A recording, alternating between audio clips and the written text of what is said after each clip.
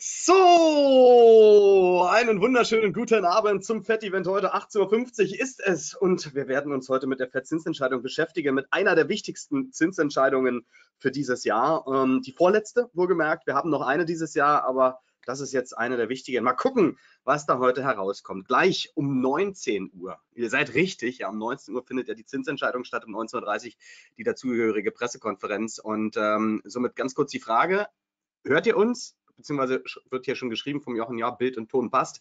Ihr müsstet jetzt ein Bloomberg ja. ähm, Website oder Bloomberg Website sehen. Und ja, ich begrüße Marco, ich begrüße Daniel. Ähm, ganz kurz nur von meiner Seite noch der Risikohinweis, den müssen wir noch ganz kurz reinhalten. Lest euch diesen bitte durch, achtet bitte grundsätzlich darauf, dass ihr natürlich mit Stops arbeitet, dass ihr die Positionsgröße entsprechend an euer Konto anpasst, dass ihr all das, was wir hier sagen, an Setups formulieren und gegebenenfalls vortraden, definitiv nicht als Handelsempfehlung wertet, sondern lediglich als kleine Informationsquelle zusätzlich zu eurem eigenen Trading, zu euren eigenen Analysen. Und wenn ihr weitere Fragen zum Trading oder natürlich zum Broker JFD habt, dann wie gewohnt auf der Website von jfdbrokers.com. Hier könnt ihr noch diverse Fragen zum Trading oder aber auch natürlich zum Broker beantwortet bekommen. Ihr seht jetzt gar nicht den Risiko. Habt ihr das nicht gesehen, Markus? Ihr habt ihn gehört, das reicht aus. Das reicht aus. Ähm, wichtig ist, keine Handelsempfehlung und äh, alles das, was wir sagen, kann völlig falsch sein. Also von daher, ähm, ja, nur Hinweise, Ideen unsererseits. So, Marco, Daniel, wunderschönen guten Abend an euch beide. Schön, dass ihr mit dabei seid. Ja, ja hi, hi in die Runde. Mal Tatsächlich, so. ja. Ja, das erste Mal. Premiere quasi. Ähm, ganz kurz, also wir müssen uns ja ein bisschen sputen zur Zinsentscheidung jetzt. Ähm, ganz kurz vielleicht die vorbereitenden Gedanken. Vielleicht erstmal Marco von deiner Seite. Schön, dass du auch mit dabei bist. Das war ja anfänglich nicht ganz klar, ob du es schaffst äh, oder genau, ob ich mit Daniel alleine bin. Also super, dass du mit dabei bist. Vielleicht von deiner Seite erstmal ganz kurz die vorbereitenden Gedanken jetzt zu der Zinsentscheidung. Danach haben wir ein bisschen Ruhe bis zur Pressekonferenz. Da können wir noch mal ein bisschen in Ruhe dann sprechen. Genau, richtig. Ja, also wir, wir erwarten jetzt erst einmal, ja, wie soll ich sagen, die Entscheidung der FED und zwar bezüglich die Problematiken der Inflation sind ja bekannt, die sind recht hoch. Normalerweise müsste die FED hingehen und die Zinsen immer weiter und weiter hochnehmen, damit die Inflation gedämpft wird. Sprich, man dämpft Inflation, indem man halt einfach Zinsen anhebt. Warum ist das so?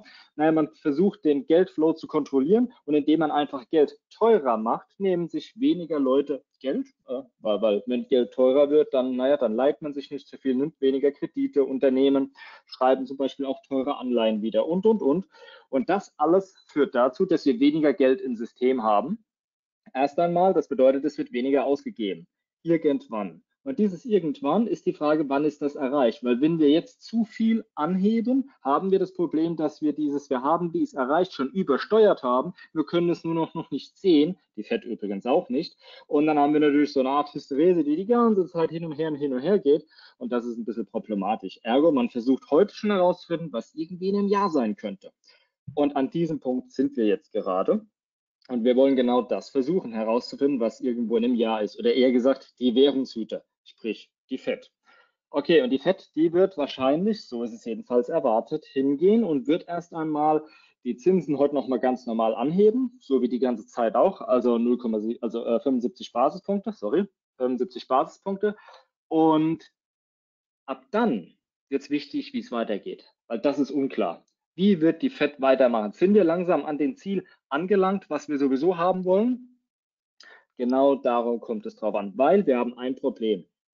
Die, die Last merken wir schon in den Märkten. Wir haben Märkte, die schlechter laufen und natürlich mittlerweile die ganzen Ökonomien einen Druck drauf bringt. Ne? Also die FED bringt einfach Druck drauf, nicht nur in den USA, sondern letztlich auch weltweit.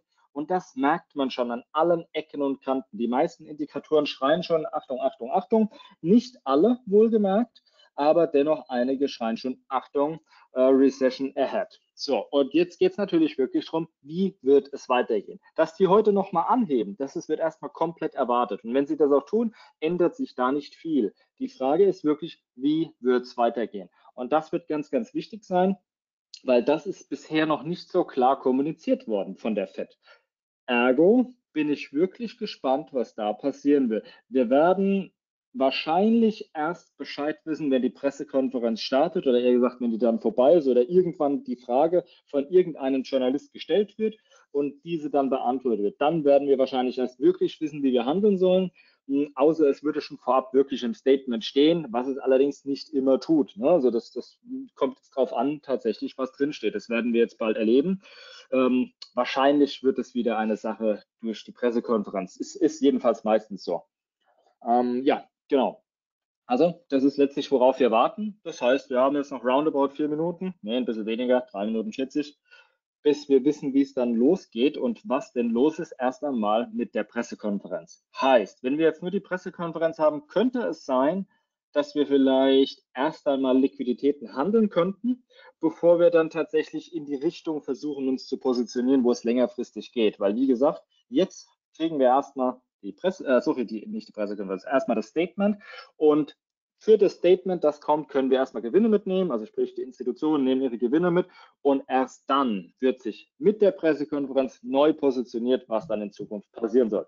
Heißt also, wir könnten vielleicht irgendwo einen antizyklischen Trade bekommen, der sehr, sehr kurzfristig natürlich ist, aber der gäbe es eine Möglichkeit, einfach in den Liquiditäten zu handeln, bis dann die Pressekonferenz kommt. Ab dann Füße stillhalten und einfach warten, bis was entsprechendes gesagt wird. Es wird um Pace gehen, um Geschwindigkeiten, sprich um Zu- oder Abnahme von, von, von der Geldpolitik, wie die FED sie angehen wird. Ne? Also darum wird es gehen. Das sind wichtige Punkte, auf die wir dann hören müssen und das uns dann sagt, ob wir es long oder short probieren sollten. Generell vorweg, der Aktienmarkt erwartet erstmal eines. Wir sind nahe an dem Punkt, was die FED auch erwartet an ihren Zinsen. Und dann soll es eher wieder bergab gehen über over the long run. Das heißt also, es könnte sein, dass die Zinsen jetzt vielleicht erstmal ein halbes Jahr, Jahr oder auch zwei Jahre da stehen, bis sie dann irgendwann wieder sukzessive zurückgehen, also heruntergehen. Das wäre erst einmal für den Aktienmarkt etwas Positives, wenn es tatsächlich so kommt. Das ist aber auch das, was erwartet wird. Ergo müssen wir jetzt ganz genau darauf achten, und das wird sehr wahrscheinlich erst in der Pressekonferenz sein, wie die das denn angehen wollen, weil gehen sie die Inflation an, und wie retten sie die Wirtschaft. Ne, das sind so zwei Bausteine, die, die jetzt irgendeinen Spagat, ähm, die, die, die einen Spagat erfolgt. Wir müssen irgendwie beides bekämpfen oder beides stützen, je nachdem welche Richtung. Und das ist jetzt die entscheidende Frage. Aber vorab, der Aktienmarkt sollte es wohl eher positiv nehmen, wenn das so herauskommt, wie es hauptsächlich erwartet wird. Ja, zum Liquiditätssammeln kann das gerne nochmal abstürzen heute. Aber wir werden sehen, was passiert. Ist auch die Frage, wie genau. lange die Pressekonferenz geht. Manchmal geht die sehr, sehr lange und ähm, es wird wohl schwierig sein, dass ich bei der Pressekonferenz jetzt zuhören kann und gleichzeitig noch bei Markus und bei Daniel zuhören kann. Also das wird ein bisschen schwierig. Vielleicht verpasse ich es auch und dann habe ich tatsächlich erst morgen was. Was aber nicht schlimm ist, weil äh, das jetzt, was jetzt herauskommt, gibt sowieso die Richtung für die nächsten paar Wochen an. Also von daher überhaupt gar kein Stress. Jawohl, Markus. Genau, und wir haben wir haben jetzt noch eine Minute in etwa und ähm, wie du schon eben gesagt hast, man guckt immer erst natürlich auf die erste Reaktion, versucht dann herauszukriegen, was passiert ist und das kriegt man auch relativ zügig heraus. Du hast jetzt selbst hier schon Bloomberg offen. Ähm, ganz kurz vielleicht, wo holst du deine Informationen jetzt her? Ganz einfach, wir gehen hier zur FED und wollen natürlich das FOMC-Meeting von heute. Da wollen wir was haben. Das ist das Wichtige. Wir holen es direkt von der FED. Ähm, da wollen wir die Infos herhaben. Genau, also da dann immer F5 drücken, bis es genau. da ist und dann ähm, ja, ja, wird es genau. da natürlich sofort hochgeladen. Also ich, ich kann jetzt eh nicht live handeln, wenn ich, wenn ich hier am Reden bin und versuche natürlich die ganzen Antworten zu, äh, die, die ganzen Fragen zu beantworten. Das macht dann keinen Sinn, aber Daniel wird dann dementsprechend einfach das Handeln übernehmen. Da wir sowieso zusammen verwalten, spielt es ja keine Rolle, wer da drückt. Genau. Das interessiert so. mich die Plattform nicht. Jetzt haben wir noch okay, fünf, gleich fünf losgehen. Genau, an für sich sehen wir eh schon eine Liquidität für Short. Jetzt bin ich gespannt, was rauskommt. Ähm, Bloomberg ist immer ein bisschen hinten dran. Da müssen wir jetzt ein bisschen warten. Schauen, was passiert. Passiert noch gar nichts. Nicht großartig viel. Nein, nein. Kann ja auch noch nicht. Wie schon eben jemand auch schrieb, man muss natürlich aufpassen. Man hat jetzt riesen Spreads teilweise in den Märkten, ja, ob es im Future ist oder eben auch in, in den CFDs, sieht man, ne, die sind am Anfang, gehen die weit auseinander. Äh, viel ist noch nicht passiert jetzt hier am Markt. Ähm, bisschen eine Spanne ja, von halt das mal kurz hoch und runter. 20, 25 Punkte im S&P und ein paar Ticks jetzt hier im Euro. Also wie du schon sagst, durchaus denkbar, dass dann eben wirklich die Bewegung erst mit der Pressekonferenz kommt. Aber mal gucken, vielleicht springt er jetzt noch ein Stück. Genau. Aber genau, ja, gut, es ist klar, dass die ähm, stark auf die äh, Inflationsrisiken eingehen, wenn die ausrasten, das ist klar. Mm, das sind die zwei Prozent, die erwartet werden. Das ist der Grund, warum es gut für die Aktienmärkte ist. Und wir sehen ja, dass die Aktienmärkte gerade übelst long gehen. Das ist genau der Grund. Und die haben das hier nochmal bestätigt. Das ist klar, dass hier der Long kommt. Äh, Habe ich ja gerade angesprochen kurz vorher. Ähm, genau, und dann auch das, dass sie einfach ganz normal anheben, wie erwartet.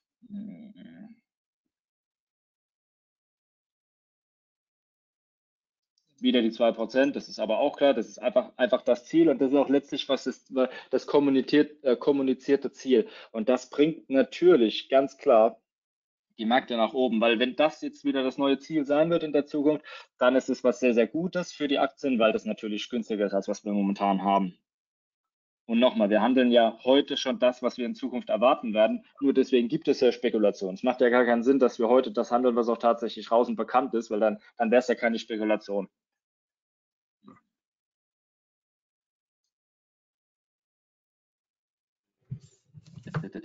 Das ist genau das, was ich auch eben äh, gesprochen habe. Es gibt halt ein Delay zwischen Monetary Policy und zwischen dann das, was in der Wirtschaft passiert. Aber da wir das heute schon versuchen zu handeln, was in Zukunft passieren wird, passt das wieder. Also genau letztlich, wie ich erklärt habe. Genau, es wird weiter QT betrieben. Auch ganz klar. Das ist aber schon bekannt wie im Mai. Genau, also da hat sich nichts geändert. Okay. Ja, ist klar. Wir wollen zurück zu 2%, das ist einfach zu hoch, was wir haben. Wiederum gut für Aktien. QT ist natürlich nicht so optimal.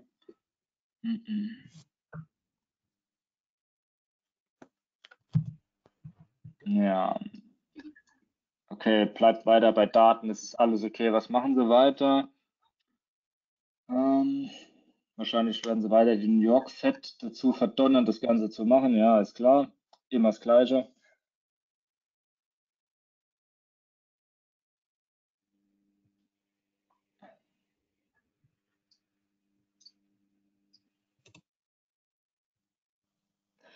Ja, genau. Ja, soweit, so gut. Ne? Jetzt heißt es erstmal warten. Mm, erst einmal ist es eher der Schritt für den Long. Jetzt werden auch ein paar Gewinnmitnahmen drin sein. Jetzt müssen wir einfach warten, bevor sich irgendjemand Größeres positioniert. Müssen wir einfach darauf warten, bis jetzt wir die Pressekonferenz haben. Aber man könnte, wenn man langfristig ähm, an der Sache dran ist, könnte man erst einmal tatsächlich auf den Long gehen muss aber dann natürlich wirklich auch mit einem großen Stop arbeiten oder das eher sehr, sehr langfristig sehen. Für einen kurzfristigen Trader ist es jetzt erst einmal abwarten und Tee trinken, weil wir können jetzt nichts machen. Das ist einfach nur eine fette, fette Bewegung und das ist jetzt einfach zu wild, was jetzt passiert. Also wir können da kaum irgendwas herausnehmen. Ja, wir könnten über Futures enormst extrem scalpen. Da kann man das ein oder andere machen, aber auch das wäre zu wild. Also ich würde es jetzt genauso wenig tun, tue es auch nicht das ist jetzt noch zu wild, jetzt würde ich erstmal warten, bis, bis die Algos fertig sind, ihre Sachen machen, die sie halt einfach immer machen und bis dann wieder ein bisschen mehr diskretionäre Trader halt reinkommen. Weil klar, jetzt wird halt, jetzt wird halt heftig gebettelt. Ne? Da fliegen jetzt die Algos genau, hin und her. Und die Wetten werden jetzt quasi die, die man schon vor drei Wochen gemacht hat, die werden halt jetzt alle realisiert. Genau, Markus. Genau, die Schwierigkeit ist, genau, die, genau, die Schwierigkeit an der Stelle ist ja eben wirklich, ähm, viele gehen natürlich auch direkt auf diese Bewegung und es ist nicht selten so, dass erst eine Erstreaktion kommt, der Markt dann eben im Prinzip auch erstmal wieder ein bisschen gegenläufig äh, äh, läuft, um dann die in Anführungsstrichen richtige Richtung anzunehmen. Und man muss natürlich höllisch aufpassen. Man hat das jetzt eben auch gerade gesehen, dass die Spreads halt auseinandergehen und äh, man merkt es dann eben in den Ausführungen, gerade wenn man Market reingeht oder am Ende dann eben auch mit einem Stop arbeitet, dass man dort eben doch teilweise Ausführungen bekommt, die man so vielleicht mit denen man in dem Maße gar nicht gerechnet hat. Ne? Da muss man natürlich immer höllisch aufpassen. Ähm, und wie du schon sagst, mitunter macht es Sinn, das Ganze jetzt erstmal abzuwarten. Wie entwickelt sich das jetzt und was wird in der Pressekonferenz gesagt? Und ganz wichtig in meinen Augen auch, dass man eben nicht selbst sich den Druck macht, aktiv werden zu müssen. Ja? Denn äh, wie du schon sagst, das, was heute gesagt wird, das gilt für die nächsten Wochen, vielleicht sogar Monate. Denn heute ist es wirklich wichtig, weil eventuell so ein Turnaround angekündigt wird. Ja?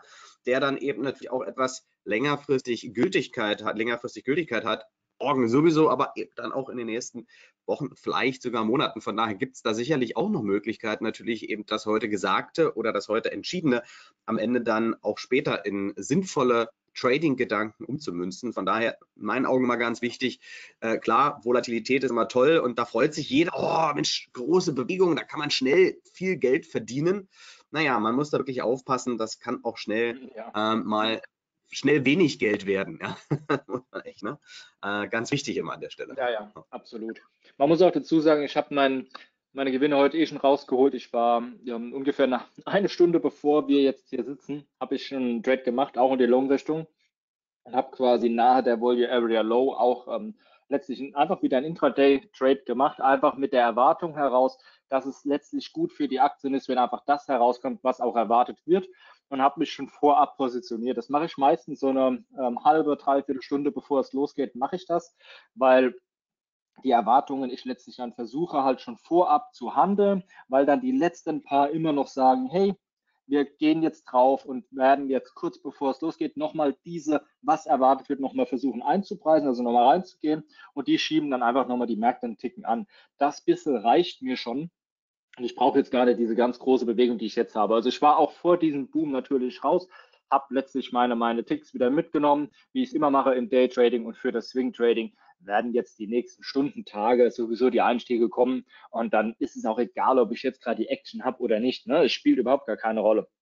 Das ist natürlich das Tolle, ähm, aber das ist dann halt Erfahrungen, die einfach, das, das beruht halt schon auf Jahre über Jahre. Wir sehen jetzt auch, wie es immer weiter und weiter steigt auch hier jetzt bei Bloomberg ne, sehen wir, wie es immer weiter hoch und hoch klettert. Und ähm, es ist letztlich einfach ein Verständnis, was man halt entwickeln muss, wenn man diese Märkte handelt. Das sind ja stark makroökonomische Märkte. Also ich spreche die ganze Zeit über den ES oder über die Aktienindizes, besonders den ES. Und dann ist es natürlich, sind es Märkte, die enorm auf die makroökonomischen Einflüsse halt reagieren. Genau. Ähm, vielleicht an der Stelle nochmal, ähm, eine sehr, sehr gute Frage oder sehr, sehr guter Hinweis von Thorsten. Vielleicht auch für dich, Marco, mal ähm, der, der Punkt, den anzusprechen. Ähm, es passt einfach irgendwie nicht, sagt er, dass die Märkte steigen. Zurzeit bekommt man drei bis vier Prozent Zinsen auf fünf bis zehnjährige also auf Festgeld oder Staatsanleihen im Endeffekt, ja, äh, da kauft man doch keine Aktien mehr. Der Knall wird kommen, ja, schreibt der Thorsten. Was sagst du dazu so grundsätzlich? Hm.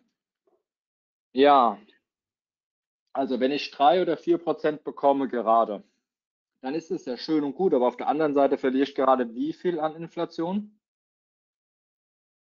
Genau, mehr. Genau, ich verliere da, sagen wir einfach mal zum leichten Rechnen 10. Alles klar. Ich kriege ich krieg jetzt, wir nehmen einfach mal die 3% an, ich kriege 3%, kann ich mir einloggen. Auf der einen Seite verliere ich 10, habe ich 7 verloren. Ähm, okay, ich weiß immerhin, was mein Trade ist und ich kann es einfach lassen. Es ist kalkulierbar, es ist berechenbar. Aber bei Unternehmen habe ich halt immer die Möglichkeit, dass sich das Unternehmen entwickelt und dementsprechend mehr wert wird. Nicht das, was es jetzt hat, aber es kann sich über die Zeit entwickeln. Die Anleihe wird sich nicht mehr entwickeln. Die ist fest gekauft, ist gekauft, es ist berechenbar, jeder weiß, was er kriegt, jeder weiß, um was es geht. Mehr ist hier nicht mehr. Bei Aktien, also eher gesagt bei Unternehmen, habe ich immer die Möglichkeit, dass daraus mehr wird, etwas Größeres wird. Und dementsprechend gibt es immer noch genug Anreize, Aktien zu kaufen. Genau, also grundsätzlich auch gerade jetzt für diese, diese Erstbewegungen und dann vielleicht auch für die Bewegungen der nächsten Tage oder Wochen, gerade das ist ja der, genau der Punkt.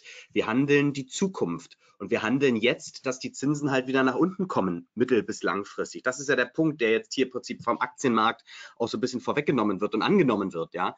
Und sicherlich, wenn man ruhig schlafen möchte und einem drei bis vier Prozent langfristig ausreichen. Man eben damit kalkuliert, dass die Inflation natürlich auch irgendwo mal wieder zurückkommen wird. Das, da zielt ja die FED drauf ab, ja. Dann hat man vielleicht unterm Strich bei fünf bis zehn Jahren sicherlich ein positives Geschäft gemacht. Und vor allem, das, da gebe geb ich eben auch dem Thorsten recht, es wäre ein ruhiges Geschäft. Man braucht sich nicht kümmern, ja. Aber unterm Strich ist es halt nicht so viel. Ne? Und von daher gibt es natürlich auch in solchen Situationen A, Bewegungen, die nach oben laufen, mittel- kurzfristig. Ähm, sicherlich könnte man darüber diskutieren, ob der ganz lange Run äh, wirklich erstmal weiter aufwärts geht oder ob nicht noch andere Punkte kommen, auch aus wirtschaftlicher Sicht, die dann vielleicht doch äh, Rezessionsängste und sowas mit sich bringen, wo dann der Markt dann doch auch erstmal wieder nochmal einen Satz nach unten sieht. Ne? Ähm, alles möglich, denkbar. Ne? Ja, ja, ja, ja, also es ist wirklich alles möglich natürlich, aber auf ganz, ganz lange Sicht würde ich immer sagen, eher Unternehmen long. Jedes Unternehmen wird versuchen, einfach bessere Produktivität zu erreichen.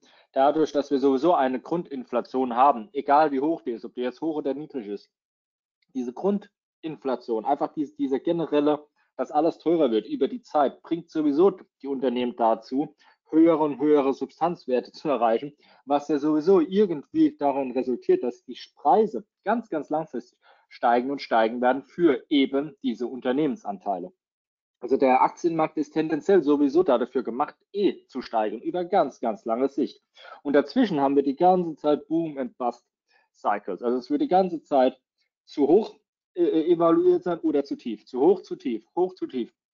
Die ganze Zeit. Und das ist genau der Grund, warum man sagt, super langfristig lohnt es sich halt in Unternehmen reinzugehen, anstatt in diese Anleihen. Und Anleihen sind kalkulierbar. Absolut, das ist kalkulierbar. Aber Unternehmensanteile sind die, die wachsen können. Eine Anleihe kann nicht, kann nicht wachsen. Eine Anleihe ist, was sie ist. Jeder weiß ganz genau, was passiert. Der Verkäufer und der Käufer. Das ist vollkommen klar. Bei Unternehmensanteilen kann alles Mögliche herauskommen. Deswegen ist es immer natürlich noch sehr lohnenswert, wenn man Stockpicking betreibt und sich eventuelle Stocks halt ein, kauft und eindeckt und versucht dann damit natürlich eine Outperformance zu erreichen, was wohlgemerkt nicht viele schaffen. Dennoch macht es dementsprechend Sinn, sich damit zu beschäftigen. Wer aber sagt, ich will natürlich einfach einen, einen easy peasy Job, ja gut, der kauft sich natürlich die Anleihen und ähm, geht auf Planbarkeit, was natürlich viele Versicherer machen. Versicherer gehen auf Planbarkeit. Rentenkassen, Renten, äh, Renten, äh, Pensionskassen, die gehen natürlich alle auf Planbarkeit, weil da geht es eben nur darum. Da hat man gewisse Zu- und Abströme und dazwischen muss man es einfach nur passend machen. Das war's. Aber natürlich die ganzen Spekulationshäuser, die machen das nicht. Die gehen natürlich eher auf ein bisschen, wir nennen es jetzt einfach mal Risiko, auch wenn ich persönlich daran keins sehe. Aber das ist ein anderes Thema für irgendwann anders da. Die gehen eher auf, wie gesagt, wir nennen es mal Risiko und gehen hin und gehen eher in spekulativere Assets rein. Weil damit mehr erreicht werden kann. Kann, nicht muss, kann. Genau, genau. Und ähm, von daher werden wir sehen, ähm, wie es sich am Ende entwickelt. Wichtig ist ja sowieso, wenn man tradet, äh, klar, Stockpicking hat man gegebenenfalls eben vielleicht auch teilweise weitere Stops oder geht anders heran. Aber wenn wir jetzt im Trading sind, ist die Entscheidung ja am Ende ähm, die eine, aber das Risikomanagement das andere. Und ähm, jeder Trade kann schief liegen und dann hat man halt am Ende einen Ausstopper oder vielleicht auch zwei. Und da muss man sich vielleicht neu resetten und mal gucken, vielleicht hat sich was geändert. Vielleicht hat man vielleicht auch einen Knick in der Optik und denkt sich, hm, okay, oder einen Knick im Denken, ja, und muss dann vielleicht nochmal gucken, ob man da vielleicht schief liegt oder sich eben umjustieren muss. Morgen kann die Welt ja schon wieder ganz anders aussehen. Ne? Ähm, und das schreibt auch der Marcel, ja, ähm, dass ja, er natürlich auch alles schnell drehen kann. Die, die, die, die Gedanken, die man sich heute macht, die können vielleicht am Montag schon wieder andere sein. anders sein. Ja, ja. Weil bei Faktoren das ist ja das Tolle für uns als Trader. Das ist genau ja. das Tolle. Wir haben jeden Tag was Neues. Und wenn wir das richtig interpretieren können, verstehen können und dann auch noch technisch die Umsetzung von den Institutionen sehen, können wir uns wieder positionieren. Jeden Tag aufs Neue. Und genau deswegen haben wir jeden Tag aufs Neue, also Montag bis Freitag natürlich, haben wir die Möglichkeit, hier auch zu handeln und unser Leben daraus zu gestalten. Das heißt also, mit der Zeit gut werden, besser werden und irgendwann einfach davon zu leben. Das ist das Tolle. Das wird als Langzeitinvestor natürlich auch gelingen, allerdings ist das Ganze ein bisschen schwieriger oder eher gesagt, es dauert länger. Das heißt, wir sind dort sehr passiv, können da uns viel, viel Zeit lassen für unsere Entscheidungen.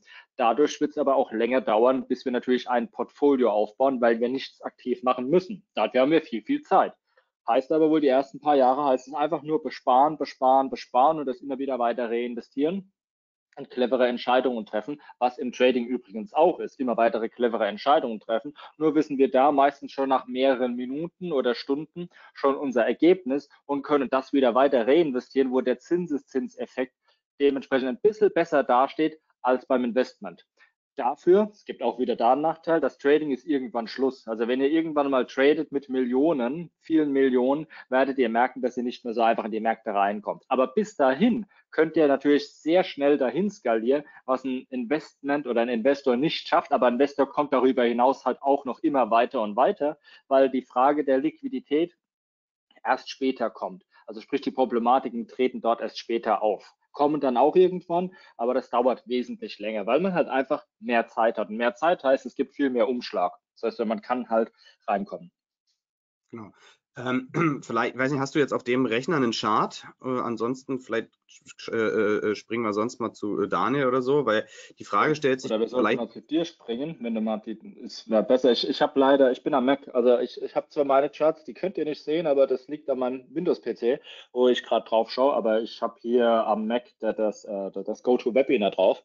Also ich persönlich sehe die Charts, ja. Die Futures schaue ich mir die ganze Zeit an, wie die hin und her ja. zimmern muss ich auch den Meta-Trader hier noch. Können wir, können wir einfach mal zu dir schwenken. Moment, muss ich da was machen dafür? Nee, ich mache das. Moment, ich mache nur mal kurz ähm, ja. Trading View auf. Ich habe jetzt MetaTrader auch gerade geschlossen. Moment. Äh, was denn jetzt hier? Äh, hier was. So. Moment. Zack. Ich muss Stop Showing Screen machen wahrscheinlich, ne? Nee, brauchst du nicht. Du brauchst nichts machen. Ähm, ah, ja. Ich schalte Wunderbar. das jetzt hier um.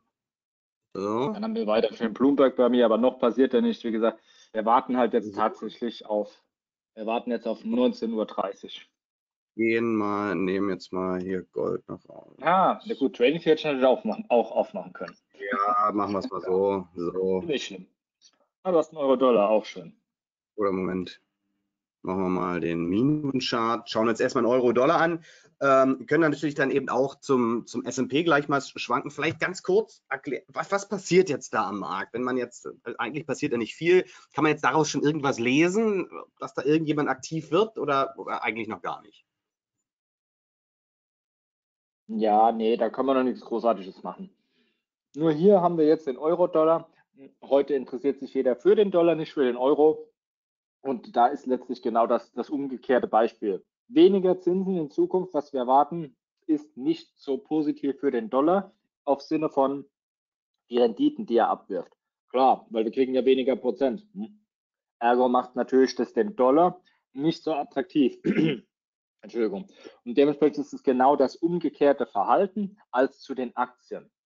Hm? Ganz klar können wir mal den. Dass es jetzt gegen den Euro ist, ja, ist jetzt erst einmal egal, weil heute Abend interessiert erstmal nur der Dollar-Part. Den Euro gibt es jetzt in dem Moment nichts Neues, dementsprechend. So, da sehen wir den S&P 500 jetzt an der Stelle. Ne? Der hat erstmal genau. auch die Reaktion ähnlich wie der Euro nach oben gesehen und kommt jetzt wieder so ein bisschen zurück. Und vielleicht nochmal, hast du eine Erklärung dafür, warum der häufig ähm, erstmal die ein oder andere Richtung sieht und dann gerne nochmal in dieses Ausgangsniveau zurückkommt. Weil wenn man, das sieht man ja ganz, ganz häufig und das sind ja auch viele, die das im Prinzip handeln, dass man so sagt, okay, hier haben wir so einen Bereich, da hat ja quasi die Bewegung gestartet, ja, und dann ist es nicht selten so, dass dann zumindest nochmal so die Tendenz in diese, in diese Ausgangsrichtung zurückläuft. Gibt es da eine Begründung für? Ja, es, es geht um Liquidität. Ich meine, jetzt sind erstmal einiges liegen ja falsch. Einige sind richtig. Jetzt geht es mal darum, erstmal die richtigen, die, die, die werden vielleicht sogar weiter aufstocken. Die, die falsch sind, die schmeißen erstmal ihre Position wieder zum Markt zurück, um ihre Verluste halt zu begrenzen, bevor das jetzt weiter und weiter geht. Und wieder andere sagen sich, super, äh, ich bin ein kurzfristiger Händler, ich habe jetzt eine Chance, kurz antizyklisch dagegen zu gehen, weil natürlich ich jetzt reinkomme, Stops fliegen, Leute falsch sind und dementsprechend eine kurze Korrektur kommen kann.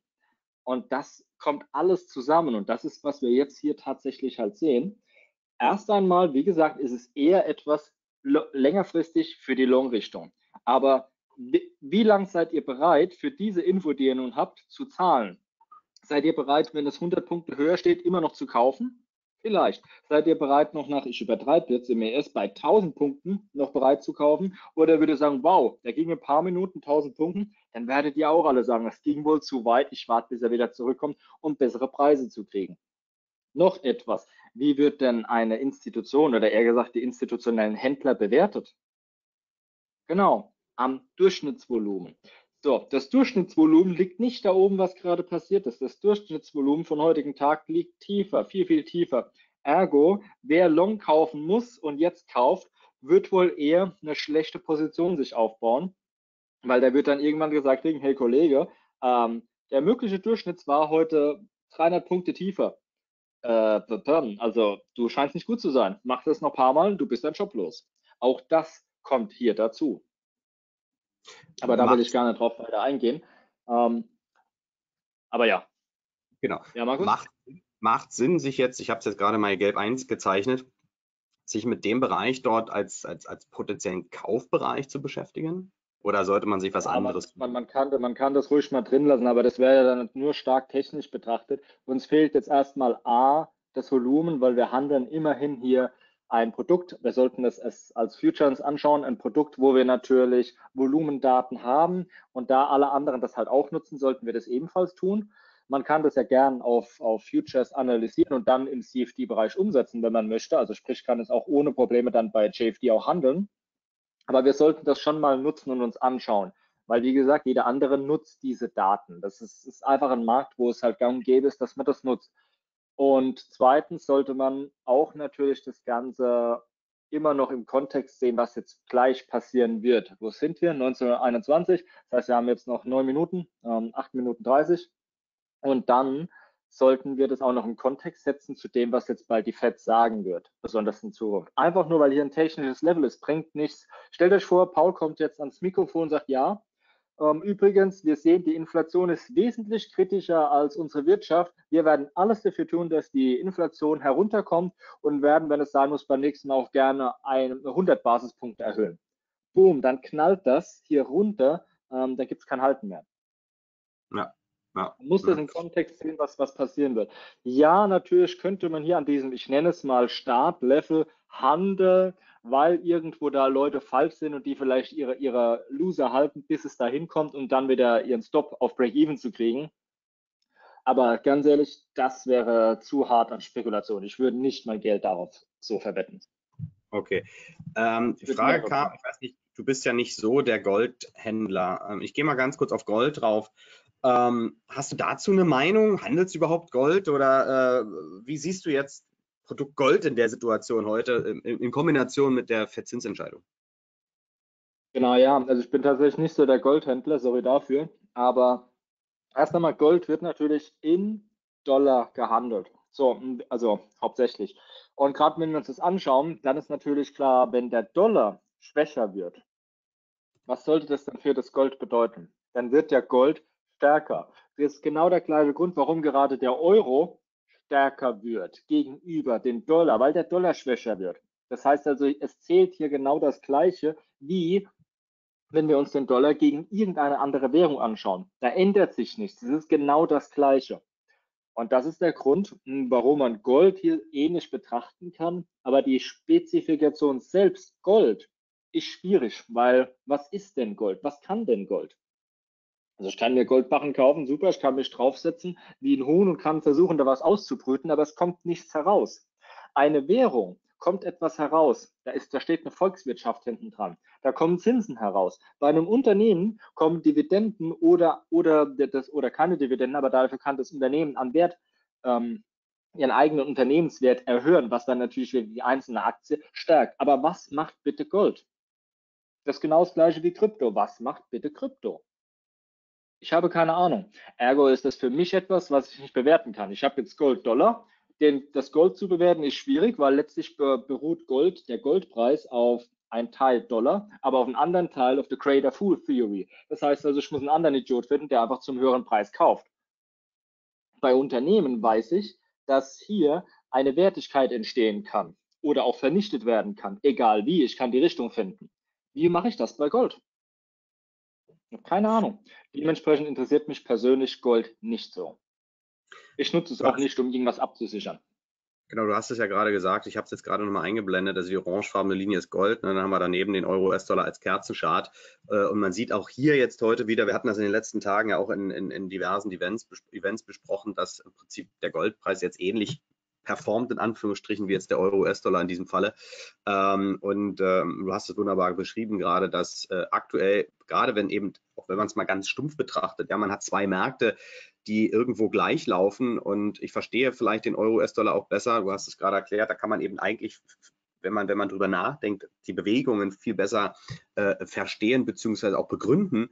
Und ähm, dann hat, kommt noch hinzu, je nachdem natürlich, welches Produkt man handelt, aber dass eben der Goldhandel an sich im Verhältnis zum Forex Euro-US-Dollar, dass man dort mitunter eben auch mal schlechtere Spreads bekommt und so weiter. Also ist da natürlich auch in aktueller Situation der Euro-US-Dollar eigentlich gerade mit der Verzinsentscheidung gerade und wenn ich dann auch noch im Verhältnis zum Gold eh einen positiv korrelierenden Markt habe, auch aus meiner Sicht, wenn dann der Euro-US-Dollar eigentlich der interessantere Markt und, und, und, bessere, wenn man das vielleicht so nennen darf. Ja, das sind meine, meine Gedanken dazu. Ne? Genau. Hm, ähm, ja, wir haben halt immerhin hinterm Euro steht halt immer noch eine Volkswirtschaft, die versucht natürlich zu wachsen. Aber Gold selbst das wird halt aus der Erde rausgeholt. Man kann es ein bisschen in der Industrie nutzen. Natürlich, es gibt schon so ein paar Faktoren, wo ich sagen kann, okay, Gold selbst als Metall kann schon gewisse Rollen einnehmen, die wir auch in gewissen, ähm, gewissen Bereichen benötigen. Aber das Asset Gold selbst kann erst einmal nicht viel. Kann aber nicht viel. Es, es, ähm, es gibt mir keine Dividenden. Es gibt mir kein Future Cash Flow, nichts. Es ist nur, wer ist später dafür bereit, mehr zu zahlen. Natürlich habe ich das bei anderen Rohstoffen auch. Zum Beispiel bei Öl ist irgendwo genau das Gleiche. Aber Öl immerhin wird überall benutzt. Das ist überall steckt Öl drin bis zum Umfallen. In der, in der ganzen Wertschöpfungskette kommt fast immer Öl vor. Also es wird selten irgendwelche Unternehmen geben, wo man sagt, die haben kein Öl. Und selbst wenn wir in den Internetunternehmen nehmen, die nichts anderes machen, außer nur Online-Sachen, selbst die haben trotzdem irgendwie Öl, das sie brauchen, weil selbst wenn sie eine Maus haben, die aus Plastik besteht, ist da auch schon wieder Öl dabei. Also egal wie, Öl ist überall. Gold muss nicht. Ja, es gibt, wie gesagt, gewisse Anwendungsbereiche, da wird Gold schon verwendet. Aber das ist von, wenn wir das umrechnen würden, in dem, was Gold dann, dann wert sein müsste, da wäre der Goldpreis viel, viel, viel tiefer. Sehr, sehr viel vom Wert des Goldes ist the greater fool, uh, the greater fool theory. Also finde einen, einen größeren Idioten als mich selbst, der zu einem höheren Preis kauft. Olaf schreibt, Gold ist seit 5000 Jahren nichts, aber es ist hübsch anzusehen, genau. Ähm, ja, André, schreib jetzt noch mal ein bisschen ausführlicher eben, dass äh, du, lieber Marco, dich äh, doch endlich mal mit der Kryptowelt beschäftigen sollst. Ist natürlich heute jetzt eine Thematik, ist mal vielleicht für einen Dienstag-Webinar äh, ein, Punkt, wo wir mal ein bisschen tiefer in die Gedankenwelt äh, oder in die, die Kryptowelt eintauchen können. Das werden wir heute mal komplett sein lassen. Ähm, wir haben jetzt bald die Presse Pressekonferenz in einer Minute in etwa oder im anderen, nee, in zwei, in zwei Minuten geht's los. Ja, in zwei ähm, Minuten geht's rund. Wie, wie, ist denn jetzt der, der, der Gedanke oder wie, wie, wie würde man jetzt weitermachen an der Stelle? Was, oder was machen wir jetzt? Was, was, was ist jetzt dein Gedanke? Also mein normaler Ablauf wäre, wäre folgendes, wäre normalerweise, dass ich mir jetzt einfach die ganze Zeit den Livestream bei YouTube anhöre von der FED und ich mir das, das einfach anschaue. Das Problem ist, ich weiß nicht, wie ich das jetzt machen soll, weil ich müsste dann recht hoch konzentriert die ganze Zeit dazuhören, äh, kann er nicht wirklich reden und, und höre es mir halt an. Das wird halt jetzt schwierig. Vielleicht eine Frage, vielleicht hat Daniel irgendwas, was er uns zeigen könnte. Also wir könnten mal den Bildschirm zu mir rübergeben. Markus, wenn es geht, können wir uns jetzt vielleicht live mal was anschauen. So, müssen so, wir gerade genau. schauen. Ja. Jetzt muss ich gucken, dass ich den richtigen Bildschirm finde. Ich könnte ja im Hintergrund mal versuchen, einfach ein bisschen mitzuhören, um was es geht und schaue mir das Ganze mal an. Wenn ich was habe, werde ich einfach mal kommentieren, ja? Alles klar, so genau. machen wir das. Okay. Also, zum Beispiel, ähm, ihr seht jetzt hier gerade einen Live-Trade, äh, das ist der S&P 500 und ich habe natürlich hier die, die Orderflow-Software an und habe einfach gesehen zu diesem Zeitpunkt, dass wir hier, dass hier vom, vom Tag etwas Volumen natürlich äh, liegt. Das können wir uns mal anschauen. Ähm, eine Sekunde bitte. So, wir gucken einfach mal, was heute so über den Tag war. Schauen uns das mal, ah, das ist vielleicht nicht ganz ideal. Nochmal diese Abwärtsbewegung hier. So. Eins noch zwischen, zwischendurch ganz kurz. Das ist genau der Grund, warum ich auch überhaupt ausbilde und warum Dan und ich das ganze Ausbildungsunternehmen gegründet haben. Seht ihr das? Ich konnte jetzt nicht handeln, weil wir hatten jetzt gerade Webinar gemacht und Daniel handelt das. Da Daniel jetzt mittlerweile halt schon in der Verwaltung mit drin ist und da nicht zusammen halt jetzt äh, das Mother-Kapital verwalten, wächst dennoch auch mein Batzen mit, obwohl ich nichts gemacht habe. Und das ist auch genau der Grund, warum wir ausbilden. Wir wollen die Trader ausbilden, die dann auch letztlich für uns arbeiten und mit uns halt unsere Vision von unserer Eigenverwaltung immer größer und größer machen. Und das ist das Tolle, tatsächlich ein richtig cooles Beispiel, weil normal würde ich jetzt hier sitzen und müsste das alles selber machen. Aber ich konnte jetzt einfach ein bisschen Wissen teilen und hintenrum lief es dennoch. Das finde ich halt super cool und das, ich finde, das passt einfach gerade. Deswegen musste ich, sorry, kurz reingrätschen, weil das ist genau die Vision von Marder. Genau das ist die Vision. Und Markus ist vielleicht bald der Nächste. Wie, wie will sie? Genau, also vielleicht schauen wir es uns einfach mal an. Es ist klar, wenn jetzt Paul am äh, Mikrofon ist und ich kriege es jetzt auch gerade nicht mit, dass ich den Trade natürlich jetzt aggressiv verwalten, aggressiv absichere, weil wenn er jetzt gegen mich kommt, dass ich zumindest noch ein bisschen was ähm, mitnehmen kann. Aber warum der Trade überhaupt erfolgt ist. Marco hat es ja vorhin schon sehr, sehr gut erklärt, dass wir eine gewisse Annahme getroffen haben, was wir handeln wollen. Diese Annahme wurde ja bestätigt. Das heißt, wir wollten long sein.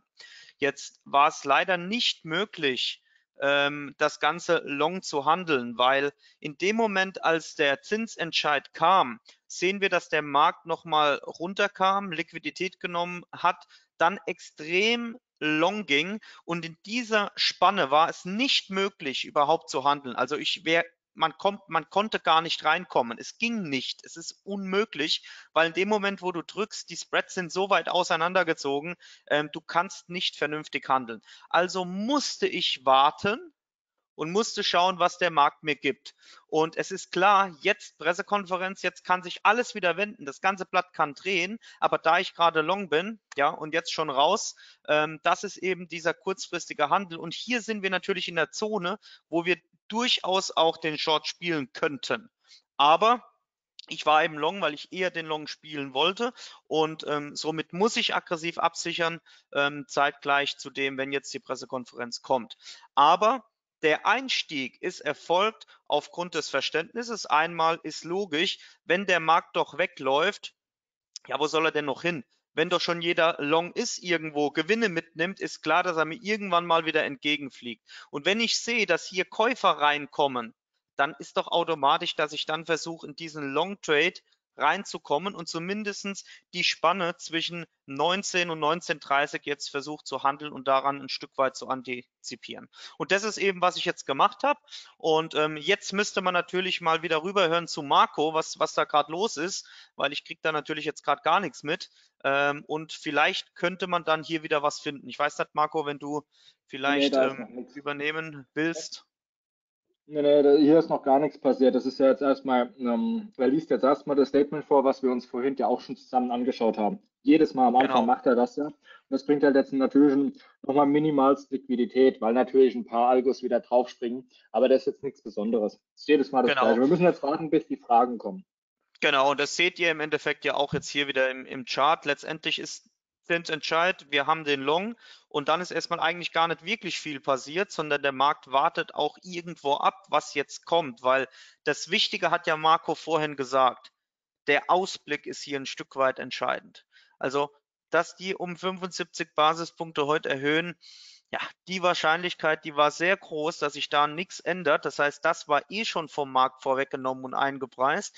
Und jetzt ist halt eben sehr, sehr entscheidend, was rauskommt in der Pressekonferenz, weil ich könnte mir gut vorstellen, dass wir tiefere Preise sehen und das ist das, was er gerade auch macht, um mich hier unten wieder einzukaufen. Ne, also wenn ich long sein will, dann will ich natürlich bessere Preise. Es macht keinen Sinn, hier am Tageshoch ähm, eigentlich gerade jetzt zu kaufen, sondern wenn, dann würde ich eher tiefer kaufen, außer ich habe natürlich Future-Daten und habe gesehen, dass Käufer in dem Moment reinkommen.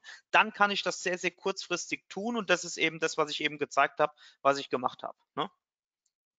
Sehr schön, sehr schön. Also am Anfang, also erstmal die Reaktion abwarten, immer ganz wichtig, um jetzt vielleicht nochmal so eine kleine Zusammenfassung zu bringen. Ähm, ja. Die erste Reaktion, wir sehen, in diesem Falle war sie wirklich in der Tat nicht ganz so stark, muss man sagen. Ja, wir hatten da schon Zinsentscheidungen, wo die Reaktion des Marktes wirklich viel, viel stärker war, auch die Spreads teilweise noch weiter auseinander gingen. Heute war es ja wirklich recht verhalten.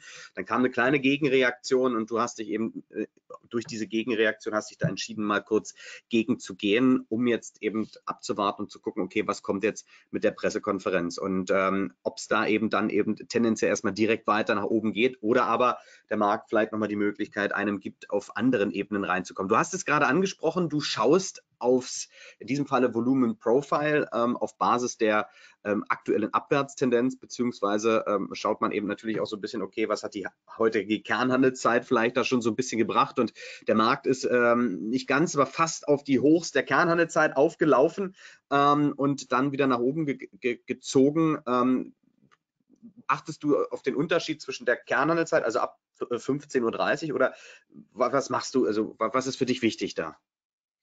Ja gut, wenn wir uns jetzt mal das zum Beispiel anschauen, ne, das ist jetzt wirklich Markt ähm, Open und wir sehen, was dann eigentlich passiert ist. Wir hatten hier Volumen und als der in diesen Low Volume Area Bereich reingetickt ist, halt, das ist Blödsinn, wir müssen es uns so angucken, da war ja nichts. Hier ist der Markt einfach weggelaufen. Es waren Käufer da und es kam keine Gegenseite rein. Jetzt seht ihr gerade, dass er schön long geht.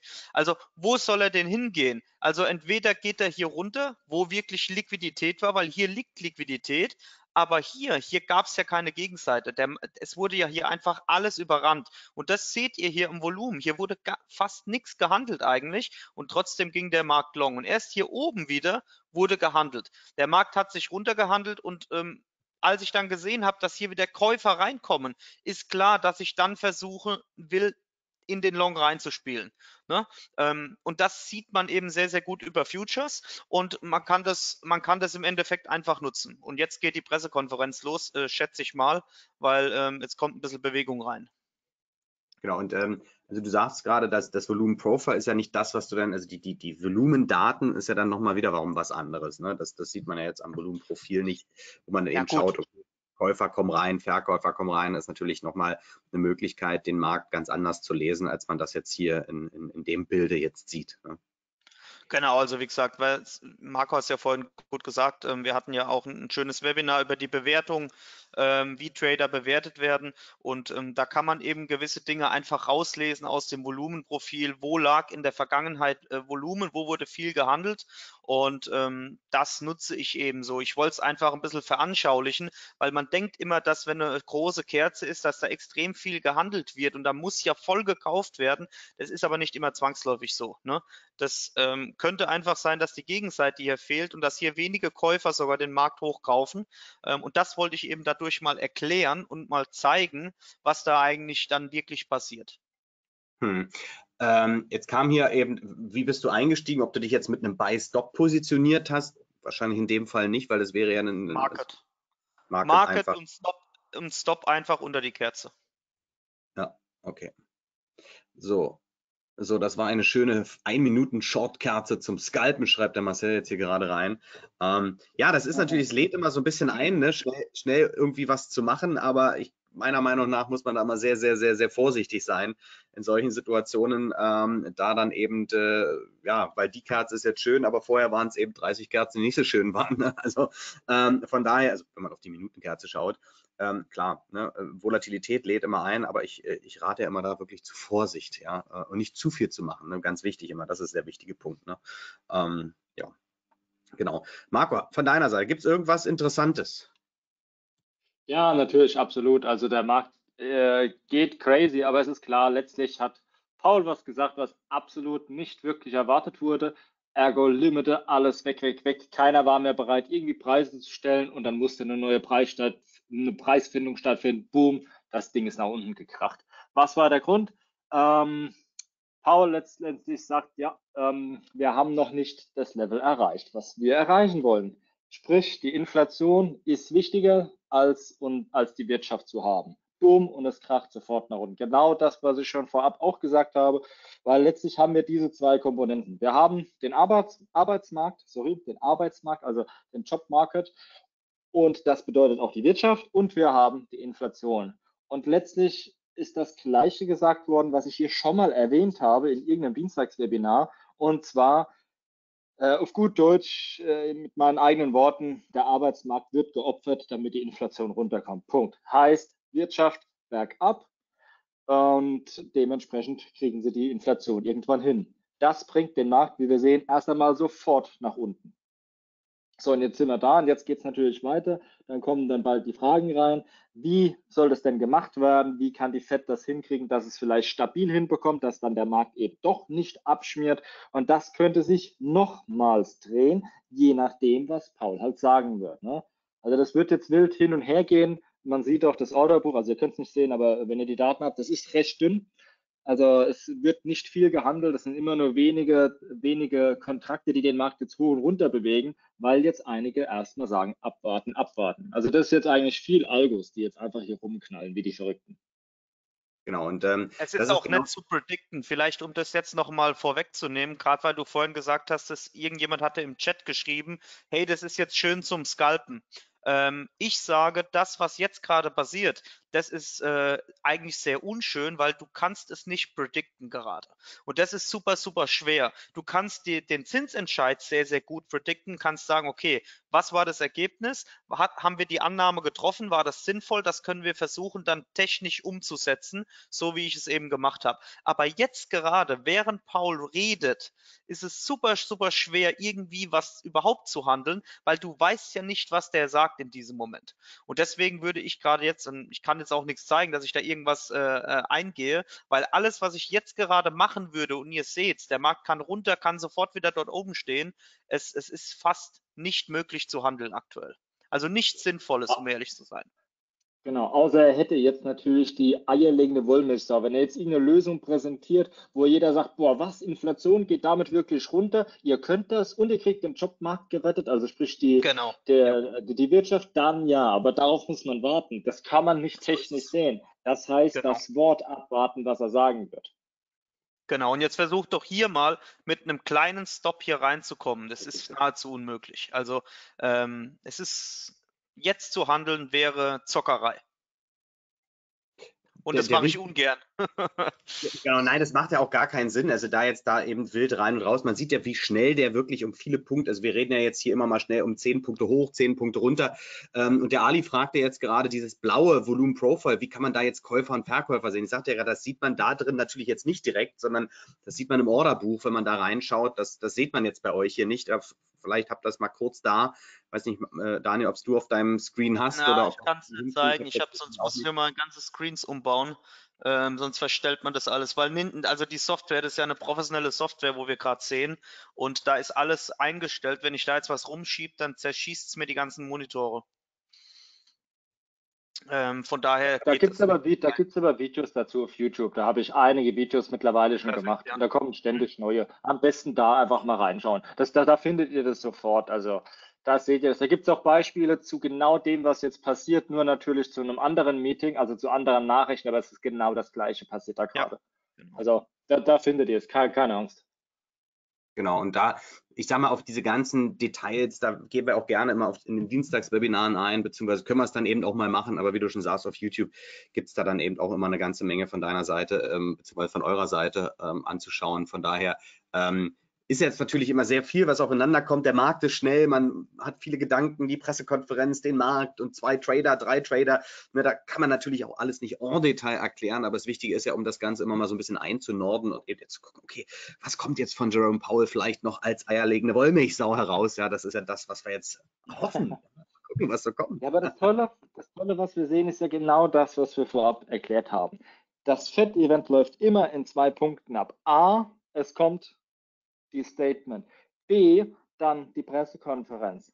Jedes Mal läuft das ab und das ändert sich dann. Und das muss man verstehen, dass hier, dass das so abläuft. Also es ist einfach eine Art Event, das halt, äh, oder Events, also zwei Events in einem Event, die immer so ablaufen. Das muss man einfach verstehen, das muss man wissen und dann muss man nur noch wissen, auf was man natürlich dann achten soll. Ne? Also man muss halt die Thematiken auch verstehen, die dann angesprochen werden, um zu wissen, ob das positiv oder negativ ist. Aber es läuft immer hier in zwei Phasen ab. Phase 1, es kommt das Statement heraus. Darauf wird oftmals dann Gewinnmitnahmen generiert und neue eröffnen natürlich auch schon wieder ihre Trades.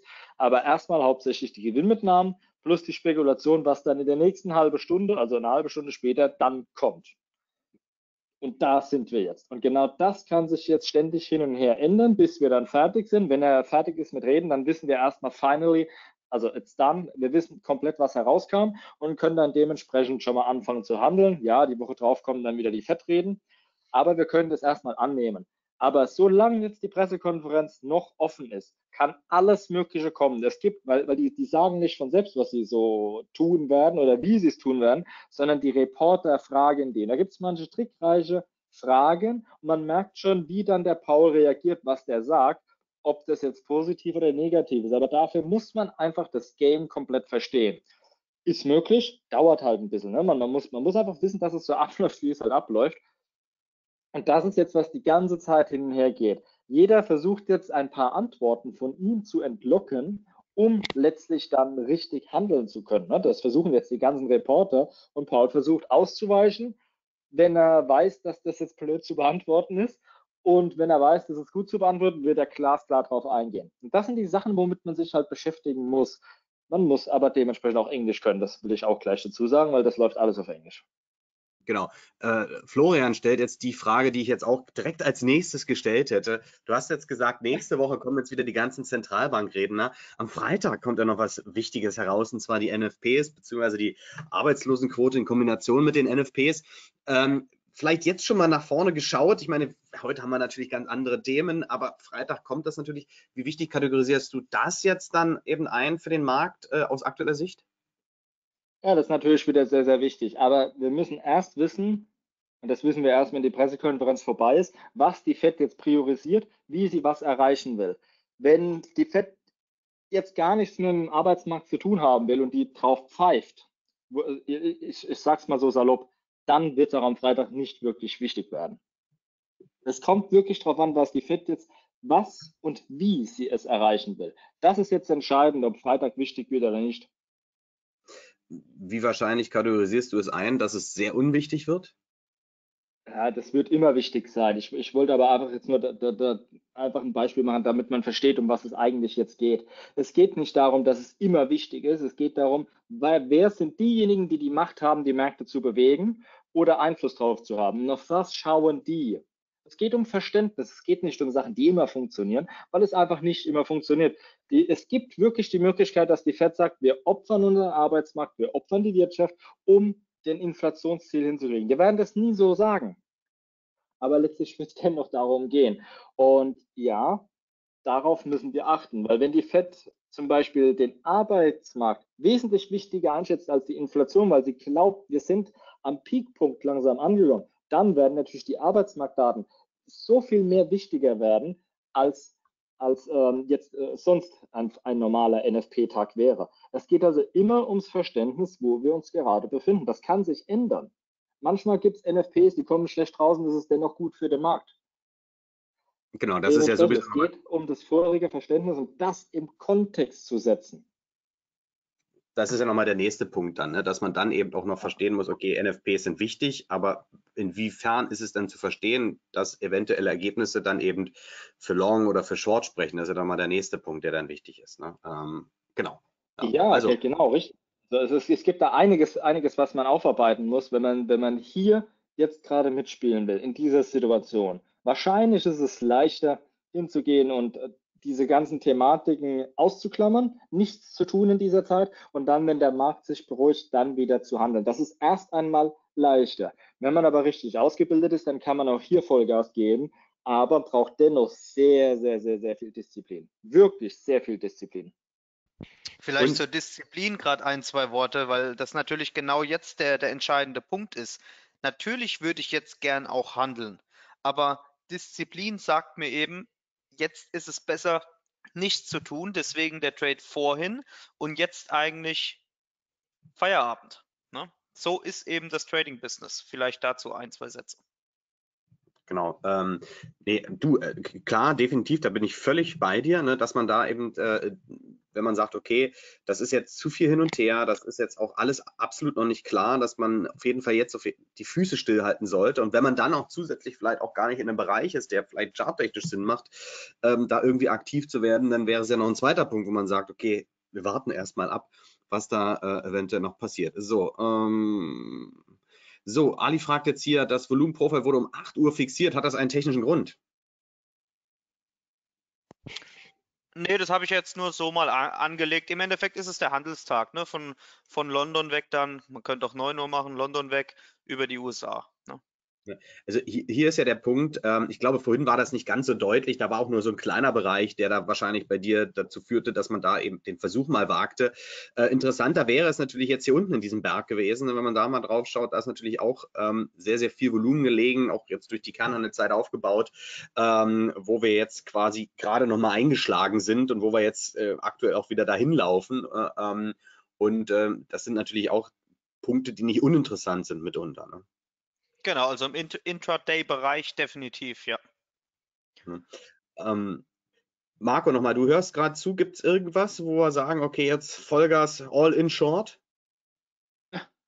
Äh, es gibt vieles, äh, sind sehr verschiedene Aussagen. Mal eher, ja, okay, könnt longern, aber es gibt gerade mehr Nachrichten für den Short aber wahrscheinlich nicht signifikant genug, dass wir das Volumen unten komplett durchstoßen werden. Aber wir werden sehen. Er wird immer noch weiter jetzt gefragt zu der Thematik, wie Sie das mit der Inflation sehen.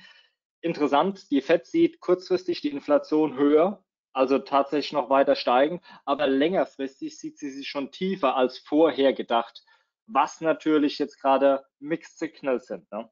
Also es, es könnte gerade beide Wege gehen vorher. Auch interessant gedacht. ist, sie wissen letztlich gar nicht, wie vorher gedacht. Vorher war die, war die, die langfristige Inflation wurde höher, höher bewertet. Jetzt wird sie tiefer erwartet.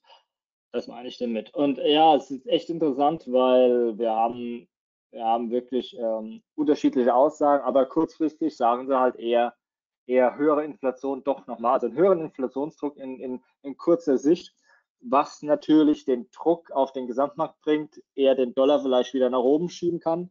Und Paul sogar sagt, dass sie immer noch über Zinserhöhungen sprechen werden im Dezember. Das ist natürlich sehr, sehr kurzfristig gedacht, ein Grund, um den Markt nach unten zu schieben, nicht nach oben. Die Frage ist nur, wie lang. Weil, wie gesagt, dann längerfristig wird sogar besser erwartet, was die Inflation angeht. Das heißt also noch tiefere Inflation. Das ist so Paul. Okay, und äh, jetzt vielleicht nochmal für diejenigen, die sich sonst nicht mit der Thematik so gravierend beschäftigen, äh, woher weiß man, äh, was die so vorher erwartet haben?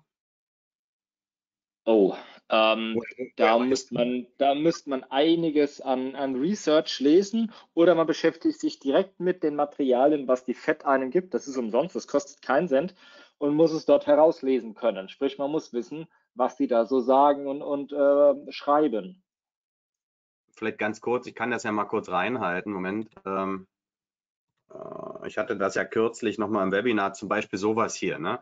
Ähm, das ist im Prinzip das, das, das äh, Statement von, von der letzten Zinsentscheidung. Da hat man dann so Tabellen drin, äh, wo im Endeffekt dann eben auch die inflationäre Entwicklung ähm, für die nächsten Jahre und auf den Long Term dann im Prinzip das, so was so erwartet wird, sieht. Ja ähm, einmal in der June Projection, einmal auf der End of, of Year Projection.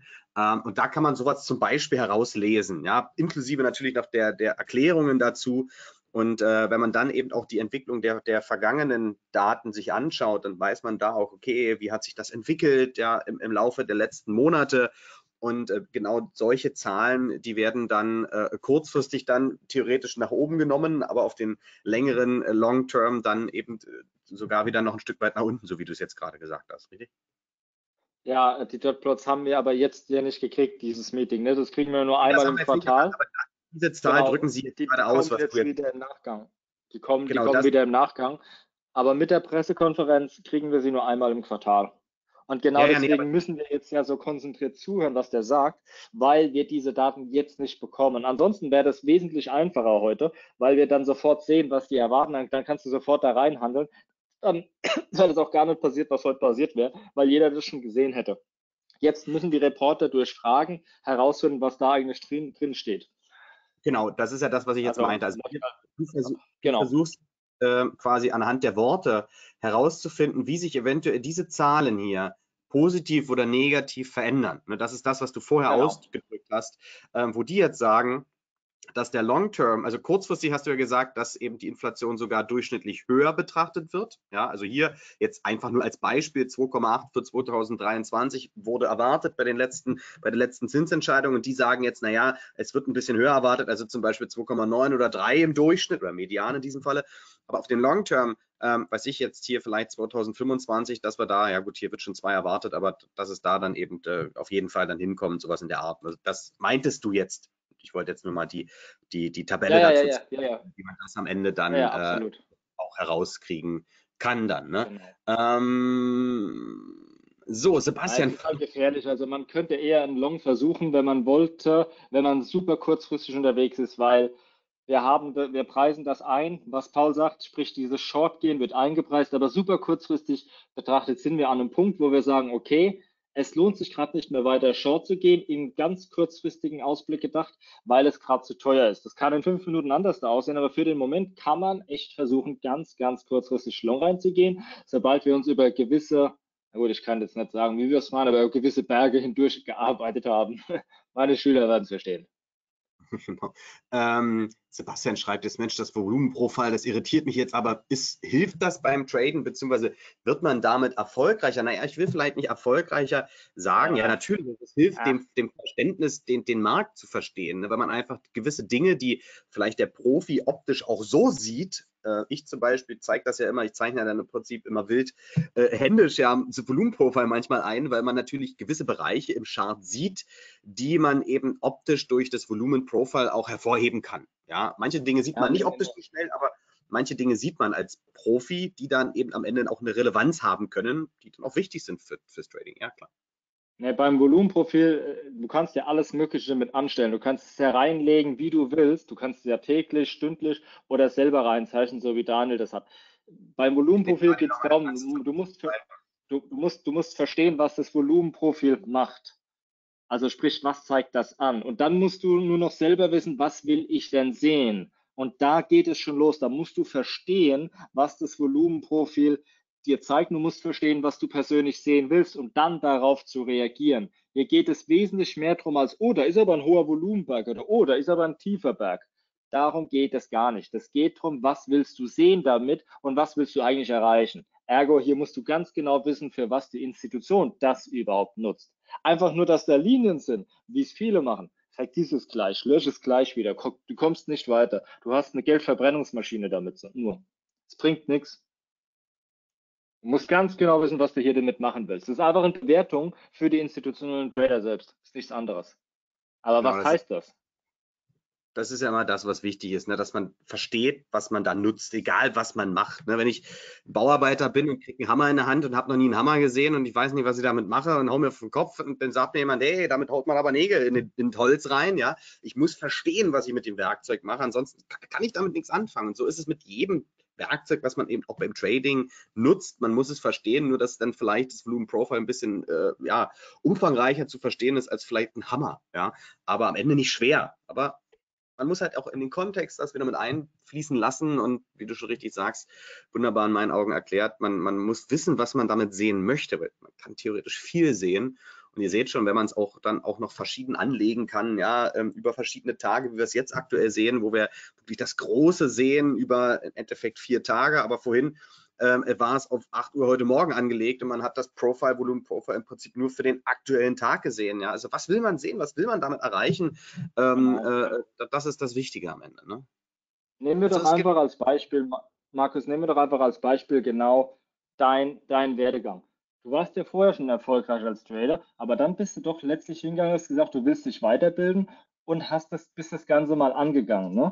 Und hast gesagt, hey, Marco, ich will mir das mal anhören, was makroökonomisch losgeht, weil wir das ja auch machen. Und ruckzuck hat sich schnell bei dir was verändert, weil du mal wusstest, wie du das überhaupt anschauen musst. Und das ist halt das Tolle an der Sache, weil es läuft oftmals anders als gedacht. Nur eine positive Zahl hat nichts auszusagen. Das sagt nichts aus.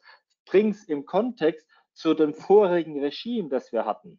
Das ist, was dir weiterhilft. Versteh das. Seht ihr, der Markt geht long, wie ich es mir gedacht habe kürzlich. Was soll er denn auch anderes gerade tun? Und das macht er jetzt so lang, bis wieder irgendein crazy Wort dabei ist und dann wird er abschmettern, als gäbe es kein Morgen mehr. Es ist, die, es ist immer das Gleiche. Es kann ja gar nicht anders gehen, weil hier wird ja keiner hingehen und wird jetzt irgendwie eine Milliarde wetten, einfach mal zum Spaß auf Rot oder auf Blau äh, oder, oder auf Schwarz, also wie im Casino. Das macht keiner. Es, es gibt immer vorgefertigte Muster von den Großen und da gibt es nicht irgendwie einen Blackout, dass jemand einfach mal drückt mit der Hand und sagt, ich mache was anderes. Man muss halt wissen, wie die das tun. Dann geht's vorwärts. Da bist du, Markus, einfach das beste Beispiel. Vorher schon erfolgreich, rein technisch, aber dann kam der Feinschliff. Boom, dann ging's richtig ab. Genau, das ist Nichts wirklich anderes. Kann ich nur unterschreiben, wenn man eben, ich meine, ich habe natürlich auch vorher makroökonomische Daten auswerten können, aber ähm, tiefgreifend habe ich das persönlich nie gemacht. Ne? Ähm, und man, man kann natürlich, wenn man gewisse Dinge noch tiefgreifender versteht, natürlich auch ähm, ja, teilweise ist er so ein bisschen wie so ein, wie so ein Trendindikator. Ja, manche nutzen irgendwie, suchen immer den besten Trendindikator. Am Ende ist so, das Makroökonomische geht natürlich so ein bisschen in diese Richtung. Ne? Wenn man da weiß, okay, wo, wo sollte eigentlich der Hase hinlaufen, dann ist wirklich äh, manches noch einfacher und beziehungsweise was auch wichtig ist, was sich bei mir auch verbessert hat, ist, dass man eben doch noch weniger handelt und noch wieder ein paar Trades einfach sein lässt, wenn man sagt, der macht jetzt erstmal eigentlich makroökonomisch nicht ganz so viel Sinn. Ähm, und äh, führte am Ende auch dazu, dass, dass ich ähm, ja vorher schon wenig handelte und jetzt teilweise noch weniger handle, aber effektiver. Ja, das, das ist ja das, was, was äh, wichtig ist. Und ja, jeder kann sich weiterbilden. Sollte jeder machen. Ja, man sollte sich weiterbilden, egal wie gut man ist. Äh, sei es jetzt direkt im Trading oder eben auch äh, auf andere Art und Weise. Ne? Man sollte nie stehen bleiben, egal wo man steht. Äh, ist auch manchmal gefährlich sogar, wenn man stehen bleibt, weil man dann manchmal so, wer rastet, der rostet. Ja? Und wenn der Kopf im Prinzip nur noch rastet und man versucht irgendwie nur noch so seinen Stiefel durchzuziehen, dann merkt man manchmal gar nicht so Betriebsblindheit, ja? dass man vielleicht an der einen oder anderen Stelle doch mal gewisse Dinge justieren sollte, man hat das ja schon immer so gemacht, aber manchmal muss man sich anpassen. Und vielleicht, lieber Marco, von vorhin das Statement, vielleicht musst du dich auch irgendwann mal der, an die Kryptowelt anpassen. Ja? da hat man das wieder. Den Schwung dahin bekommen. Ja, kommt ähm, tatsächlich eben. Ja, tatsächlich. ist ja auch nicht. Stellt euch vor, es gibt nichts mehr anderes. Jetzt, dann muss ich ja. natürlich, äh, muss, muss ich weitergehen, ist ja klar. Richtig, richtig. Und dann musst du dich entweder auch selbst weiterbilden oder dir natürlich auch Informationen irgendwo herholen. Und so ist es halt. Ne? Und ähm, wie gesagt, das ist natürlich ein Bereich, der mitunter natürlich auch einen gewissen Reiz hat und, und nicht, nicht, nicht, nicht uninteressant ist. Ich habe ganz einfaches Beispiel da nur wieder. Es ist halt teilweise einfach nicht vorteilhaft zu handeln. Das ist einer der, der Punkte auch im, im Kryptobereich. Man muss ganz genau wissen, was man wie handelt, weil einfach man sonst da auch noch einen relativ großen Nachteil hat und das ist auch nicht so wirklich reguliert. Das ist auch ein riesen Nachteil. Hat man jetzt vergleicht den S&P 500, ja, das ist an der Börse, jemand sieht natürlich, welches Produkt man handelt, aber wenn man den Future handelt, da gibt es eine Börse, das, das, da ist alles geregelt, da gibt es kein Wenn und Aber. Ähm, und bei, im, im, im Kryptobereich gibt es da doch noch eine ganze Menge ähm, Dinge, die nicht ganz so klar sind und das macht es für mich auch uninteressanter, wenn ich doch Märkte habe, die, die sage ich mal, reguliert sind, die sich bewegen und wo ich meine Chance bekomme. Warum muss ich dann in einen Markt gehen, den ich A nicht verstehe, aber der auch teilweise nicht ganz so sauber reguliert ist bis dato. Ne? Und von daher ist da für mich die Entscheidung relativ einfach. Ähm, ich nehme das, was was, was sage ich mal, A, einfach zu verstehen ist und was B, aber auch ähm, reguliert ist und vernünftige Liquidität da ist und, und alle Bedingungen top sind, ähm, um, um, um da dann eben Geld zu verdienen. Ja. Vielleicht noch, um hier einen Satz hinzuzufügen. Das, was wir tun oder was wir, was wir handeln, das kann man natürlich auch im Kryptomarkt umsetzen. Nicht, dass das falsch rüberkommt, sondern was wir ausbilden bei uns, es sind ja gewisse Themen aufgrund von Liquidität, wie Algos arbeiten, also sprich wie Trader arbeiten, um Liquidität sich ja zu generieren. Das kann man natürlich im Kryptomarkt genauso anwenden. Ne? Also nur wir machen das nicht. Wir haben aber einige Trader, mit denen wir arbeiten, die auch im Kryptomarkt aktiv sind.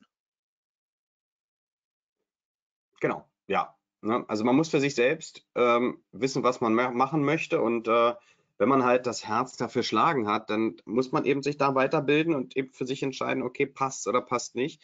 Äh, jeder ist ja da seines eigenen Glückes Schmied und wenn man da äh, sich natürlich lange weiterbildet, Chancen gibt es natürlich überall, ähm, aber ja, wie gesagt, meine Entscheidung ist da erstmal ähnlich wie Markus. Ich lasse das erstmal an mir vorbeiziehen und beobachte es immer von der Seitenlinie und werde sicherlich auch früher oder später vielleicht mal auch da aktiver werden. Mal schauen. Ähm, genau. Ist denn die Pressekonferenz? Also, aussieht, werden, nee, nee, die, nee, nee, die ist immer noch voll im Gange. Also wahrscheinlich werden wir eine höhere Terminal Rate haben und an der Terminal Rate bewertet sich ja letztlich alles. Ne? Also die meisten, die die Aktien oder Unternehmen langfristig kaufen, bewerten, machen das ja anhand einer Terminal Rate und die wird wahrscheinlich höher kommen, die, die wir von der FED vorgegeben kriegen. Ergo, das sinkt wohl irgendwie alles ab. Also naja, was heißt Terminal Rate? Was, was, was, heißt jetzt Terminal Rate? Ähm, boah, da muss man viel vorher noch dazu verstehen. Letztlich stellt sich einfach vor, die Zinsen, die, die, die längerfristig erwartet werden. Da müssen wir wesentlich mehr drü drüber, drüber schwitzen, um, um das abzuhaken. Das schaffen wir jetzt gar nicht, das ist unmöglich. Es, ist, es geht um längerfristige Zinsen. Also äh, stellt euch einfach so vor, wenn ihr hingeht und wollt, ähm, ein, wollt Geld bewerten, was ihr in Zukunft bekommt, was das heute wert ist, dann müsst ihr das hier irgendwie abdiskontieren und müsst ihr entscheiden, was dieses Geld denn für eine Wertigkeit hat aufgrund von Opportunitäten, die ich nicht nehmen kann, weil ich Geld hergebe und aufgrund von Inflation. Und das alles muss man natürlich irgendwie berechnen durch irgendeine Rate. Oftmals nimmt man einfach die Terminal Rate. Und wenn die jetzt steigt, dann fällt natürlich äh, die Werte sämtlicher Investments nach unten. Ergo, also sprich, das heißt Short. So. Und so dreht, so schnell dreht sich das ganze Blatt, der auch von eigentlich nur gucken, dass es long geht, äh, oder müsste eigentlich long gehen, mit einem paar Sätzen und ein paar Fragen äh, wendet sich das Blatt und äh, heißt jetzt erstmal, wir schauen, nicht zwingend heute, aber vielleicht für die nächsten Tage dann doch eher ja. wieder nach der Abwärtsseite, was nicht bedeutet, dass der nicht heute nach oben läuft oder morgen erstmal long geht und sich oben dort die Liquiditäten nimmt, um dann eben abzuschmieren. Ja, das, ne? heißt das nicht. Nee, ich würde einfach schauen, was jetzt die Institutionen der nächsten Tage einpreisen werden in der Terminal Rate. Kaufen die das ab? Machen die das, was die Fed sagen oder machen die was anderes? Ich würde einfach darauf schauen, was machen denn die, die Milliarden bewegen? Ich bewege keine Milliarden. Also sprich, warum soll ich denn mein Kram handeln, was ich einfach mir so ausdenke. Ich schaue dann doch jetzt ganz klar, ob die Großen das kaufen werden. Also mit kaufen meine ich, ob sie das deren Fett abkaufen. Wenn sie sagen, ah jo, klar, das ist so, dann folge ich denen, weil ich ja verstehe, was hier los ist. Es ist wie immer, es ist einfach ein, ein Büchlein, was immer wieder das Gleiche los Es ist immer wieder das Gleiche. Ne? Es, ist, es ändert sich nicht hier. Und das werde ich jetzt einfach abwarten. Ist das wirklich so oder nicht? Die Fed selber sagt jetzt erstmal, alles klar, ähm, wir werden wohl nach a higher terminal rate haben, aber wir werden wohl, es ist nie gegeben in der Wirtschaft, dass es stimmt. Das ist nicht 5 plus 5 ist 10. Das, so funktioniert das einfach nicht. Das ganze System ist leider nicht so. Auch die FED weiß nie 100 Prozent, was ist. Aber die haben eine gewisse Macht mit ihren Worten. Wir sehen jetzt schon, ne, äh, das Terminal Rate ist über ein Tape gerattert vor anderthalb Minuten oder eine Minute und 50 Sekunden und jetzt ist erstmal direkt schon wieder ein bisschen abverkauft worden. Ist halt die Frage, ob die jetzt unten durchkommen oder nicht. Aber das geht die ganze Zeit jetzt hinher, bis wir endlich fertig sind und wissen, was los ist. Und dann, wenn wir endlich fertig sind, dann können wir sagen, alles klar, jetzt warten wir doch mal bitte auf eine Sache. Und zwar, ob die Großen das auch so umsetzen oder ob die hingehen und sagen, nee, wir wetten anders. Kann sein, weil letztlich ist es ein frei handelbarer Markt. Es kann alles Mögliche rauskommen. Wenn aber alle Großen entscheiden, wir kaufen nur noch und kaufen nur noch, ob das jetzt sinnfrei ist oder nicht, lassen wir mal nebenan gestellt, dann wird der Preis steigen, solange es die Käuferschaft gibt. Punkt. So einfach ist es. Es muss nicht immer Sinn ergeben. Aber wir müssen verstehen, was gesagt wird. Wir müssen verstehen, was los ist. Wir müssen verstehen, wie man normalerweise darauf reagiert und dann abwarten, was passiert. Und dann können wir sagen, super, jetzt gehen wir mit den Großen mit. Aber dann haben wir auch komplett das Paket drumherum verstanden, was eigentlich sein müsste und was nicht. Ja, und an dem Punkt sind wir halt. Ne? Und an dem Punkt werden wir immer sein, egal wann die Seminare machen. Es wird immer so sein. Aber jetzt Wichtig. ist halt gerade recht speziell. Wichtig natürlich an der Stelle, ähm, dass man selbst nicht versucht, ein Großer zu sein, denn es heißt ja so schön immer never fight the fat. Ne? Also man sollte ja. eigentlich sage ich mal, jetzt als Kleiner nicht sagen, uh, das glaube ich aber nicht, was die da sagen. Ja, ähm, das ist immer sehr gefährlich ja an der Stelle. Ne? Ich habe das früher auch gerne gemacht. Ich habe mir dann irgendwelche äh, äh, Dinge angehört oder habe irgendwelche Statements mir durchgelesen, habe mir dann irgendwie so äh, grob mein eigenes Bild äh, erschaffen. Ja, eigentlich keine großartige Ahnung, aber hab dann, nee, nee, das darf nicht long gehen und voll dagegen gehalten. Äh, Ob es nur die Fett war oder manchmal auch andere Dinge und dann ist das natürlich höllisch, höllisch in die Hose gegangen. Also man muss da natürlich aufpassen. Äh, und jetzt kam eben auch die Frage ja, nochmal, wie, wie sehe ich denn jetzt eben, wie die Großen aktiv werden und ähm, das ist die Frage. Eine gute Frage. Ähm, das erkläre ich dir, wenn du bei mir bist. Das, ist, das können wir gar nicht so erklären, das ist unmöglich. Da ist viel zu viel los. Das ist unmöglich jetzt so zu machen. Das ist unmöglich. Entschuldigung, musste mal kurz einen Schluck trinken. Ähm, ja, ja also Problem. genau, äh, wichtig ist ja, ähm, dass man natürlich den, den, den Marktkontext versteht und ähm, natürlich dann eben auch schaut, okay, häufig oder nicht, nicht, nicht zwingend, sieht man jetzt heute zwingend, was machen jetzt große Marktteilnehmer, wo fangen die an, eventuell eben eher zu verkaufen oder eher zu kaufen. Das ist ähm, eine Sache, die man eben auch nicht von jetzt auf gleich lernen kann. Das ist nicht irgendwie, pass auf, wenn der Indikator rot zeigt, dann kaufen die, äh, verkaufen die, wenn der Indikator grün zeigt, dann verkaufen, äh, dann kaufen die, nein, um Gottes Willen, schon spät, am Abend. Ähm, also das, das ist eben genau das, was eben auch Marco und Daniel immer sagen, das ist eben dieses Marktverständnis, ja, dass man versteht, ähm, wie das Ganze funktioniert und das Spiel funktioniert und das, du schreibst jetzt hier, Olaf, dass sie, wenn die ja dann mit Tricks arbeiten, wie soll ich denn das herausbekommen? Naja, A, ja, das man jetzt keine Tricks. Genau. Das sind eigentlich keine Tricks. Das sind keine Tricks. Also die arbeiten nicht mit Tricks. Das kann man so nicht sagen. Ähm, hier wird eben wahrscheinlich gemeint, dass sie ja eben den Markt äh, in Anführungsstrichen irgendwo sich da hinschieben, wo sie ihn haben wollen oder eben das, das, das so tun, wie sie es tun, um ihn dorthin zu bekommen. Wo er das ist ja nur die technische Umsetzung. Das ist ja nur die technische Umsetzung. Aber äh, was sie jetzt tun mit Kaufen und Verkaufen, das, kannst, das kann man recht schnell sehen. Äh, man muss nur diese verschiedenen Facetten der Märkte verstehen. Also da, da schaut man sich einfach nur mal die Marktpreise an, wie die sich entwickeln nach gewissen Entscheidungen und wartet mal einfach zwei Tage ab, was passiert und dann sieht man direkt schon, was los ist. Ähm, man muss nur wissen, welchen Markt man sich wieder anschauen muss, weil auch das ändert sich ja ständig, je nachdem, was gerade ansteht. Wieder, es geht wieder um den Kontext. Es gibt keine allgemeingültige Antwort, die immer stimmt, wenn ich sage, schau dir immer Öl an, als Beispiel.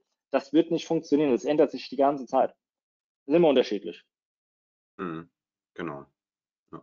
Also deswegen, das kann man so einfach gar nicht, gar nicht beantworten. Man muss es einfach wirklich verstehen. Aber es ist so lustig, ständig labert er was anderes. Jetzt hat er wieder, wieder was gesagt, äh, der Paul, was wieder dazu führen könnte, wie, hey, vielleicht doch eher ein, ein Long, weil er sagt, ja, wir, wir müssen auch aufpassen, dass wir nicht zu hart sind, äh, dass wir nicht zu stark tighten, dass der Markt am Ende dann nach ein, zwei Jahren voll abkippt, also quasi in ein, zwei Jahren. Deswegen müssen wir jetzt schon überlegen, dass wir da früher dagegen steuern, als man denkt. Was natürlich wieder voll für den Long spricht. Es ist unglaublich. Der labert die ganze Zeit was anderes.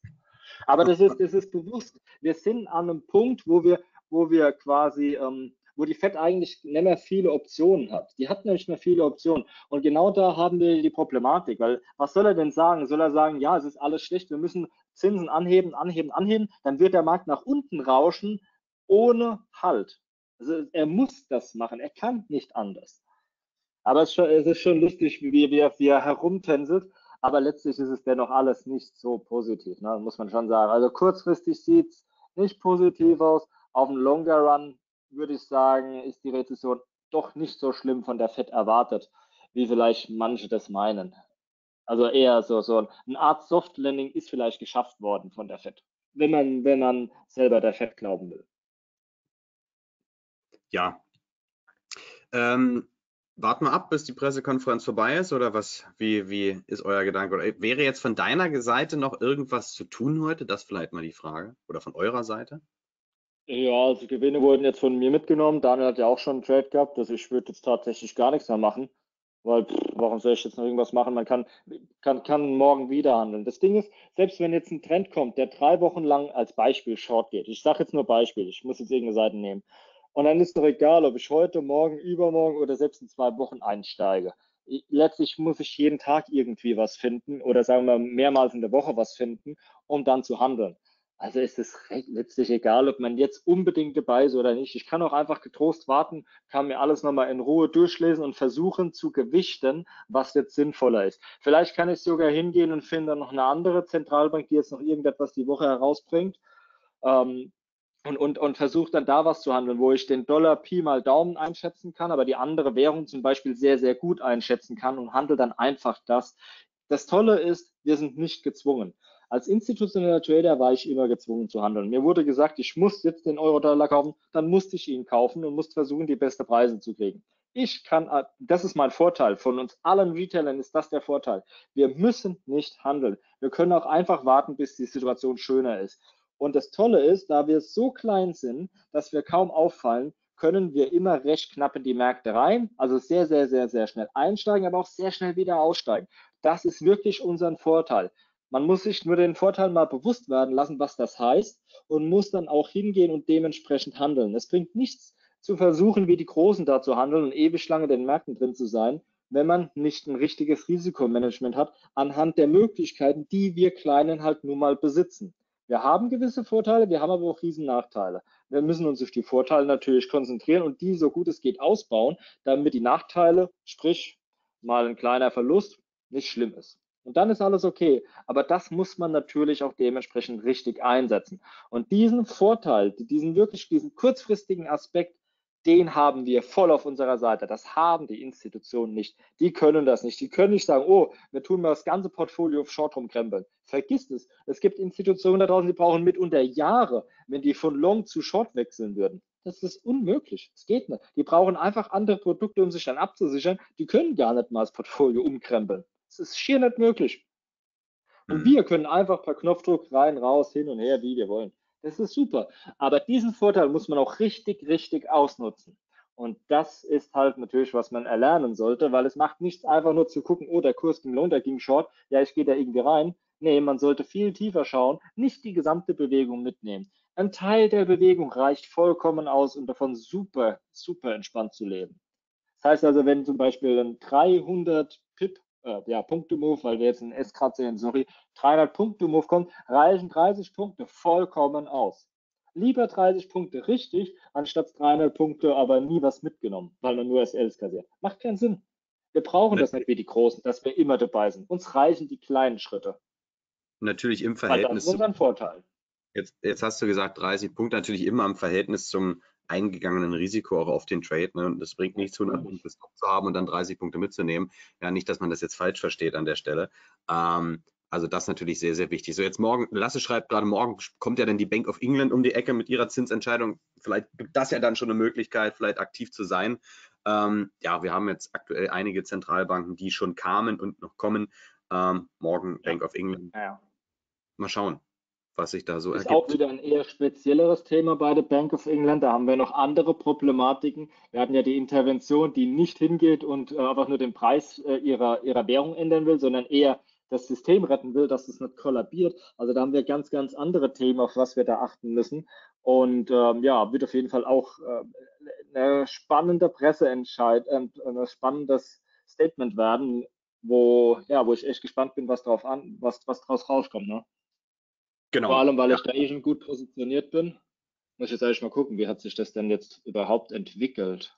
Schauen wir mal. Mhm. Na, ist nicht viel passiert. Heute ist nicht viel passiert. Ist nicht viel, ja, heute ist nicht viel passiert, aber ah, jetzt geht es hier wieder nicht. Aber dennoch, da bin ich ja schon, boah, wie viele Pips bin ich da im Plus? Das sind schon ein paar, paar Hunderte. Naja, einfach mal laufen lassen. Gut. Dann würde ich fast sagen, Vielen lieben Dank an euch. 1000 Tipps sogar. Ja, klar. Brit britische Pfund läuft. aber ja, das ist nochmal ein anderes Thema. Da, da, haben wir halt ganz, ganz, ganz andere, ganz andere Sachen, um die wir uns gerade kümmern müssen. Ne? Das ist eine ganz, ganz andere Art, weil wir hier ganz andere Probleme gerade haben. Also auch das Dollar Yen ist auch eine spannende Sache wohl für die Zukunft, weil wir haben jetzt die Entscheidung der FED und wir wissen ja, was die Japaner gerade tun, ne? mit ihrer Intervention. Ach ja, was wieder eine ganz, ganz anderes als die von der Bank of England. Also auch da gibt es jetzt gewissermaßen Chancen. Meine Leute wissen ja alle Bescheid, meine ganzen Schüler. Ähm, ja, auch da könnte sich was ergeben in Zukunft. Also das ist echt gespannt. Das ist auf jeden Fall immer wieder was Tolles, weil es kommt jetzt wieder Bewegung rein. Und ja, das gibt jetzt, Markus, wie, wie sagen wir immer, das gibt jetzt erstmal wieder den Kurs vor für die nächsten paar Wochen. Genau, richtig. Ja, Vielen lieben Dank an euch zwei für den abendlichen Einsatz heute ähm, und äh, für das bisschen Kommentieren, auch wenn heute jetzt quasi so richtig viel, also klar, Bewegung haben wir, sehen wir, aber so richtig viel jetzt erstmal nicht passiert ist. Ein sehr, sehr, sehr, sehr starkes Jerome Powell so ein bisschen äh, kreiert wurde erstmal. Und ähm, morgen werden wir das in den Streams wieder so ein bisschen auswerten. Da sind wir natürlich dann auch ein Stück weit schlauer, weil wir dann wirklich final wissen, okay, was hat er nun unterm Strich gesagt, was hat der Markt am Ende erstmal auch dann eben zumindest heute final draus gemacht. Dann ist die Nacht, da schlafen einige drüber, beziehungsweise die asiatischen Märkte verarbeiten das Ganze dann natürlich auch nochmal in irgendeiner Art und Weise. Und dann können wir morgen uns genau. den Mund abwischen und weitermachen und äh, schauen, was wir wiederum daraus gegebenenfalls kreieren können. In diesem Sinne, euch beiden genau. vielen, vielen, vielen Dank für den heutigen Abend. Wir hören uns am Dienstag wieder alle gemeinsam, ja, im Dienstagswebinar mit WADA äh, um 14 Uhr. Und ähm, wir, also ich und ihr, wir hören uns morgen früh um 7 Uhr auf YouTube mit dem DAX Long oder Short. In diesem Sinne euch, Good Trades Mega Trading. Bis dahin euch nur das Beste. Euer Markus und Marco und Daniel. Bis dann. Ciao. Viel Erfolg an alle. Macht's gut. Ciao, Viel ciao. Erfolg. Macht's gut. Ciao, ciao. Tschüss.